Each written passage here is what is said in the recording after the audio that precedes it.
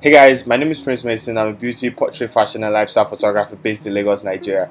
And today I'll be showing you how I retouched this image right here. Now, first things first, you have to import your image into Lightroom. Um, if it's a raw image, which I advise people to actually shoot raw because I shoot raw.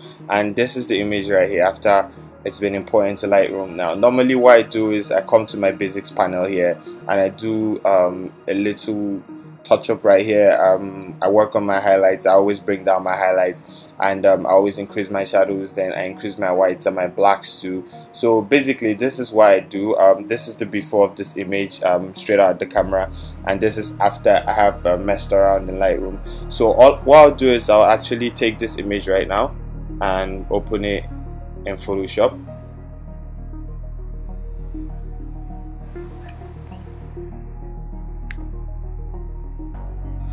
now that this image is open um, I have some frequency separation actions that I use. Um, if you are a retoucher if you've learned retouching then you know a little bit about frequency separation. So um, I set my um, the radius to 9 for my Gaussian blur and yeah so this action works great. I downloaded it from a website. I can't remember where. Um, but I have also created my own actions but I use this basically because of the check layer then what I do is I do my frequency separation. So I'm going to speed this up. If you know frequency separation or you have different techniques you use you can just use that. So I'm just going to speed this up to make this a little fast. So yeah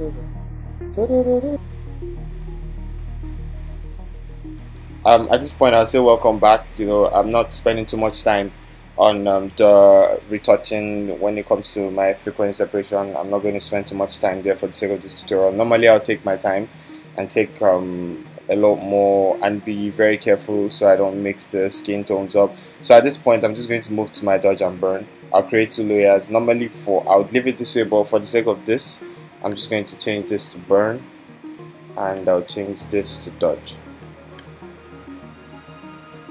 So what I use, typically use for my dodge and burn is um, my 50% gray layer. So at this point here, I'm just going to pick my burn tool, set my exposure to 3, make sure my range is on mid-tones and make sure protect tones are checked. Then I'm going to start burning this image, burning this image.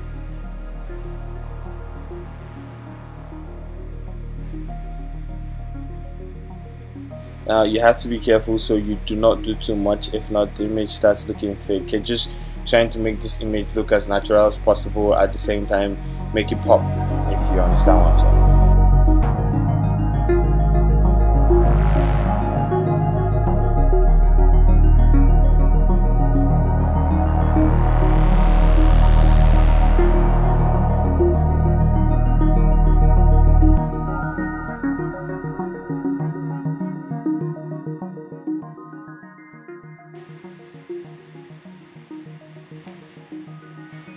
Then I move to the dodge set my exposure to 3 make sure it's still on mid-tones.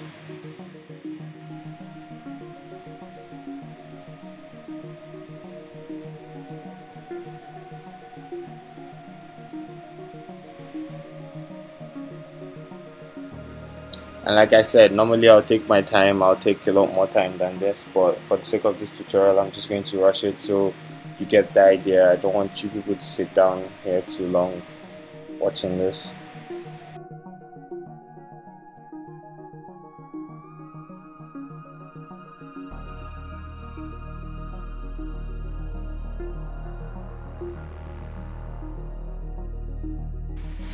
Uh, I'm going to group this and see how far come. And the image looks good. Looks it looks okay um, so at this point now I'm going to sharpen my image. Uh, I have an action for that. For probably later I'll do a video showing you people how I sharpen my image. This is a bit too much so I'm going to set this to 30 and um, yeah I'm not going to start grading now. I'm just going to take this out. Uh, then from this point what I'll do next is I want the image to pop a lot more than it already is. So I'm just going to come here pick black color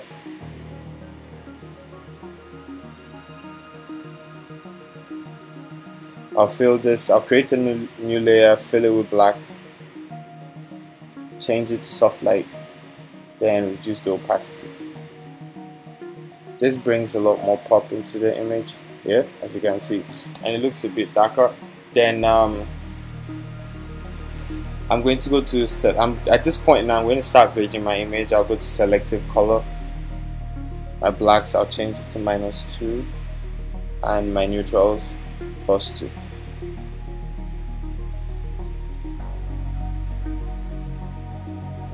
Create a curves adjustment layer. Go into my reds from the middle here take it up a bit. I'll go into my greens take it up a notch then go into my blues and I'll take that up a notch too. That gives it a pretty nice feel. I'm just going to I probably will take my greens up a little more than that just to balance balance this out okay? Looks good. Uh, so next I'm just going to create a levels adjustment layer. And I'll hold alt and I pull my whites see where they're peaking. Then also my blacks see where it's peaking. Image looks good. I'm just going to pull this in the group right now. And I'll name this group grade I'm just going to take my check there, put it up here. I rarely use it most times. Um, so what next? Now I'm going to add a flare at this point. Now, if you can see uh, her side, she has like um, highlights there, which is showing that the sun is coming from this part. So I'm just going to add a little flare there. I'm just going to create a new layer.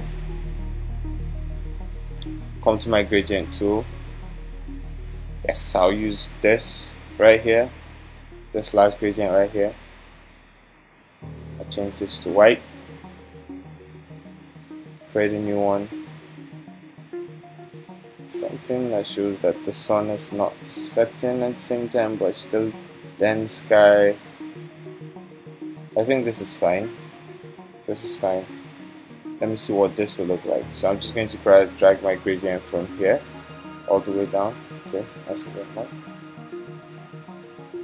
okay that's not bad. Let's see what it looks like. I'll change my to screen. Wow that looks good. That looks really really good. I think I'll just do that again one more time. That looks really good. Change it to screen and um, I'll go to filter blur Gaussian blur and just blur this out a bit. I'll just blur this out a bit so. That looks pretty good. Um, at this point